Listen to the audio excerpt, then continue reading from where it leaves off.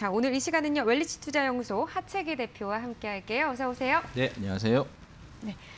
자, 각 경제 채널의 관심주부터 확인하고 오겠습니다.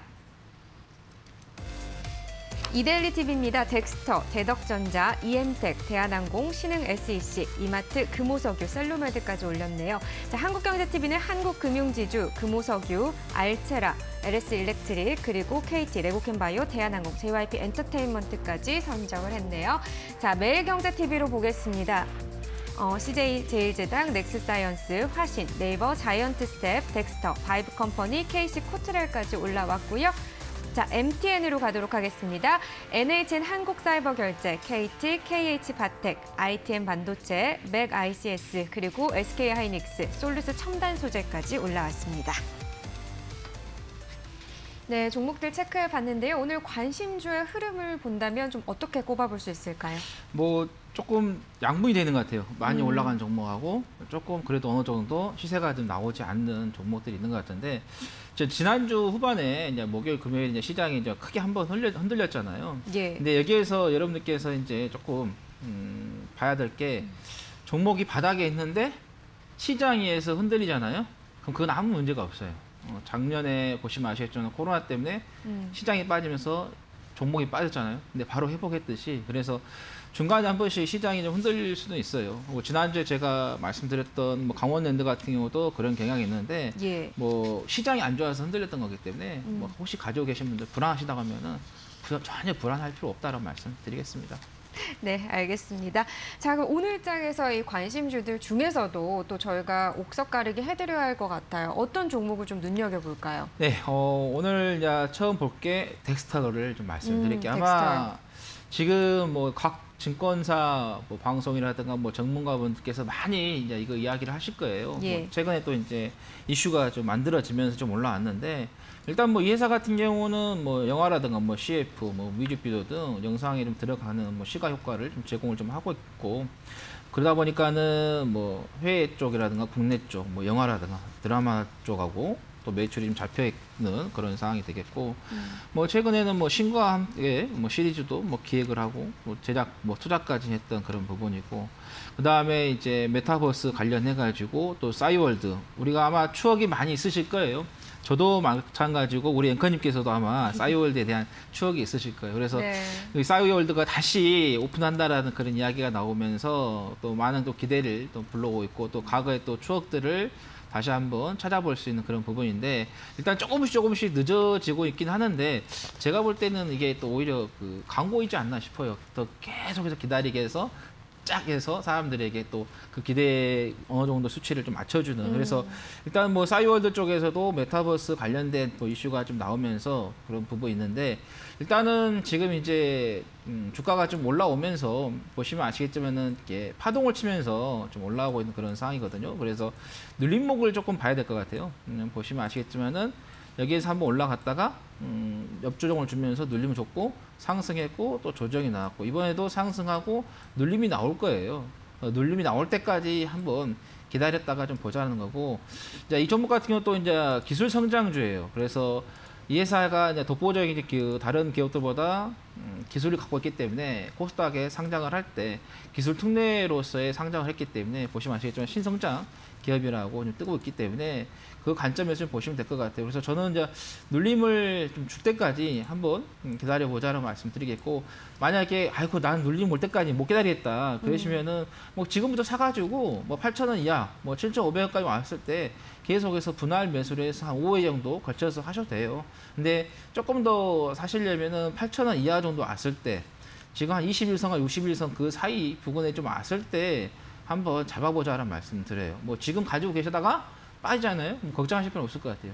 가지고 가시면 될 것 같아요. 앞으로 신성장 사업으로서 이 메타버스 같은 경우는 계속해서 어때요? 산업이 어때요? 합쳐지는 그런 부분이기 때문에 여기서 또 파생을 하는 거죠. 메타버스 기술로 가지고 해서 다른 산업계 연계해서 파생을 하는 그런 부분이기 때문에 그런 관점에서 좀 보시면 좋겠다라는 말씀을 드리겠고 자 그렇게 되면 이제 목표가 같은 경우는 지난번에 2월 달에 1,350원 이 잡혔었거든요.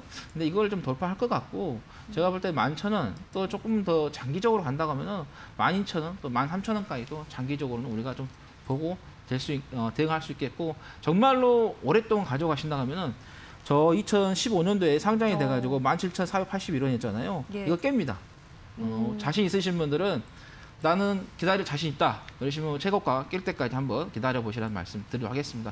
단 네. 시간을 나의 편으로 만들 줄 알아야 된다는 거 음. 말씀드리겠습니다. 네, 덱스터 같은 경우 약간 눌림목이 나온다고 하더라도 성장성을 가지고 있다. 좀 긍정적인 전망이신 것 같아요. 덱스터 오늘 강보합권이네요. 9,350원인데 단기적으로는 11,000원, 그리고 좀더 중장기적으로 본다고 하면 13,000원 선까지도 제시를 해봐 드리도록 하겠습니다. 자, 덱스터 얘기 들어봤고요. 두 번째 종목은 어떤 예, 건가요? 뭐 KC 코트레일 말씀드리겠습니다. 음. 아마 이게 바이든 정부가 이제 들어오면서 환경 관련된 부분에 있어서 상당히 좀 이슈를 좀 받았었죠. 그래서 탄소 관련된 종목이 이슈가 좀 받았었는데 그대로 이제 이제 출범해버렸기 때문에 당선됐기 때문에 어떻게 보면 재료가 이제 소멸이 돼버리는 그런 상황이 좀 됐었던 그런 부분인데 예사 같은 경우는 환경 오염 방지 사업이라든가 뭐 신재생 사업, 특히 이제 분진 처리 장치죠. 공장 등에서의 집진 처리 장치, 그 다음에 가스 처리 설비, 공장 등에서 나오고 있는 유해 가스 처리 장치를 좀 하고 있고, 그 다음에 뭐 환경 플랜트 사업과 뭐 태양광 발전 설비, 그래서 태양광 관련해서 신재생에서 좀 연관이 됐던 부분이고, 그 다음에 바이오 매스도 좀 사업을 좀 진행을 좀 하고 있는데, 최근에 이제 지금 어떻게 보면은 이런 질병들 코로나 같은 경우도 보면 어떻게 보면 한쪽에서는 뭐 자연의 그 문제에 의해서 좀 생긴 것도 있다라고 해서 이 환경에 대한 부분을 상당히 전 세계적으로 좀 중시를 하고 있습니다. 국내뿐만 아니라 전 세계가 좀 중시를 좀 하고 있는 그런 부분인데 특히 이제 EU 쪽에서 탄소 국경세를 좀 도입을 하겠다라고 좀 발표가 좀 됐기 때문에 예. 특히 이제 이 회사 같은 경우는 탄소 포집 장치 기술을 좀 보유를 하고 있어요. 그래서 이제 수혜가 될 수 있는 그런 부분도 있다라는 말씀드리겠고, 그다음에 유럽 쪽에서 2023년도에서 탄소 국경세를 점진적으로 그 수입 제품들에게 좀 부과를 좀 하는 그런 부분이죠. 이게 이 탄소 국경세라는 게 이제 자국보다 이산화 배, 이산화탄소 배출이 많은 국가에서 생산이 되고 수입된 그 부품 대- 제품에 대해서 부과하는 이 관세를 좀 말하는 건데 그러다 보니까는 우리나라에서도 어때요? 유럽이라든가 미국이라든가 뭐 중국 이렇게 이제 제품 팔아 모으려면은 거기에 맞춰서 갈 수밖에 없는 거거든요. 그래서 그 환경 관련해서 좀 보자라 말씀드리겠고 또 최근에는 또 대만 타이중 화력 발전소를 좀 통해 가지고 환경 설비 보수 공사에 좀 계약을 좀 체결을 했는데 이 금액이 약 한 4,656억 정도 되는데 작년에 매출에 대비해서 한 142% 정도 해당이 된다. 이게 한 25년도까지 해서 계속해서 계약 기간이 잡혀 있는 그런 부분이기 때문에 이런 계약도 좀 잘 이루어지고 있는 그런 부분이기 때문에 좀 관심 있게 보자 말씀드리겠고 지금 보시면 이제 주가가 지난번에 12월 11일에 자 12,578원 이제 찍고 나서 좀 빠졌는데 지금 보시면은 여기에 좀 지지를 좀 받고 있죠. 음, 여기 이 가격대도 지지를 받고 있고 여기도 잡고 있고 여기도 받고 있고 그래서 가격대에 좀 지지를 좀 받고 가는 그런 부분인데 조금 이제 아쉬운 게 이평선이 아직까지는 음, 응집이 좀 안 돼 있다.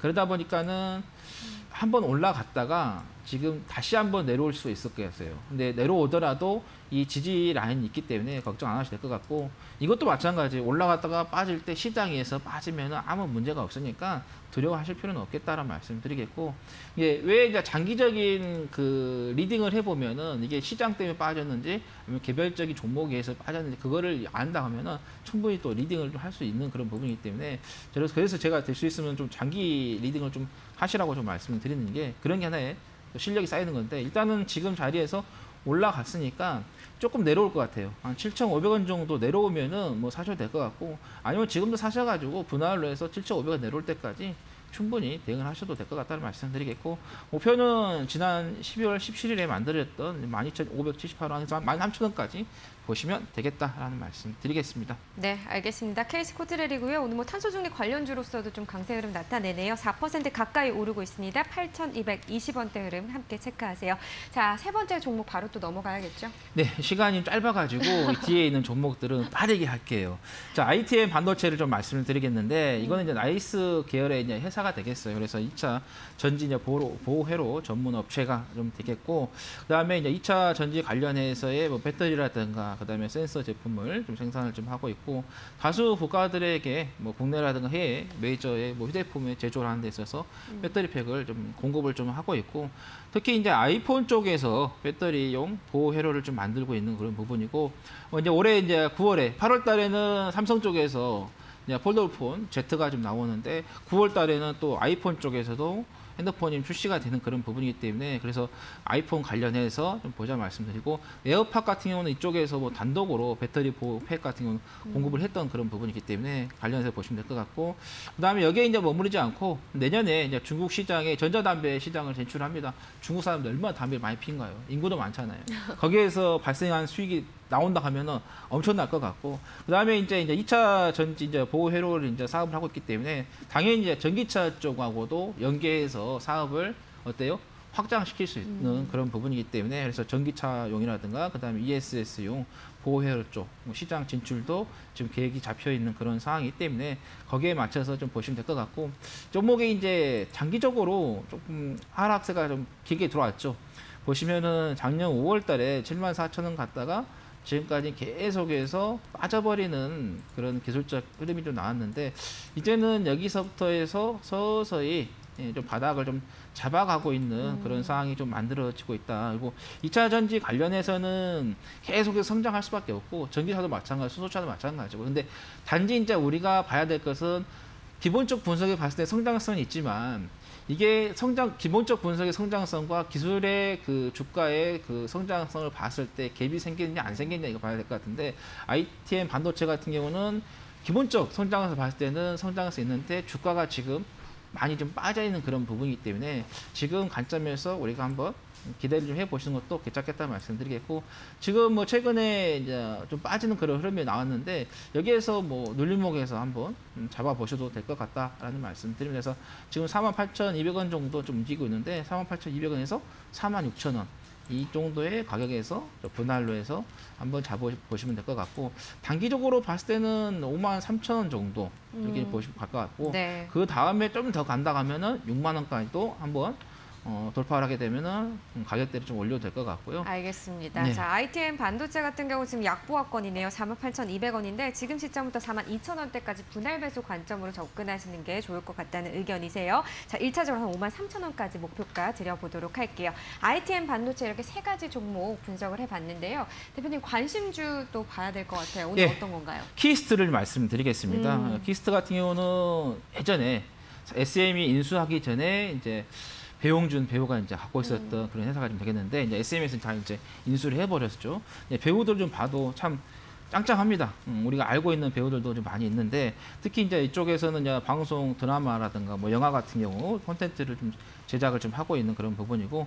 드라마 같은 경우는 뭐 하이에나라든가 그다음에 나의 위험한 아내라든가 허쉬 등을 제작 기획을 했었던 거고 그다음에 넷플릭스 오리지널 같은 경우에서 이제 보건교사 안은영을 좀 제작을 좀 하면서 음. OTT 관련해서도 좀 보시면 될 것 같고 예. 그다음에 디즈니 이제 코리아 쪽에서 키이스트와 통해서 국내 이제 제작자들과 같이 이제 오리지널 콘텐츠를 좀 제작하겠다라는 이야기가 좀 나왔기 때문에 보시면 될 것 같고 배우들 보면은 뭐 손현주, 뭐 김서형, 유해진, 뭐 배정남, 이동휘, 뭐 박하선, 뭐 조보아 등 상당히 좀 알려져 있는 그 배우들이 좀 있는 그런 부분이고 특히 이제 그 영화 같은 경우는 이제 아무래도 코로나 때문에 촬영이나 이런 게 조금 문제가 좀 되고 있는 그런 부분이긴 하지만은 그래도 우리나라 뭐 드라마 이쪽 제작하는 데서는 크게 어떤 뭐 문제가 되는 건 아니기 때문에 그리고 이제 뭐 델타 뭐 또 남미 쪽에서도 새로운 게 좀 나왔다고 하지만은 충분히 또 백신으로서의 또 접종이 되면서 해결할 수 있는 그런 부분이기 때문에 관련해서 좀 보자라 말씀드리겠고 자 매수가 같은 경우는 15,250원 잡으시면 될 것 같아요.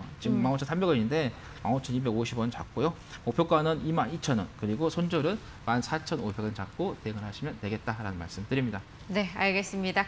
오늘 1.6%대 강세 흐름인데 15,300원입니다. 매수가는 한 15,250원대 선으로 좀 보시면 될 것 같고요. 손절 라인 14,500원, 목표가는 22,000원으로 참고해 보시면 되겠네요. 자, 키스트까지 또 알아봤습니다. 오늘도 고맙습니다. 네,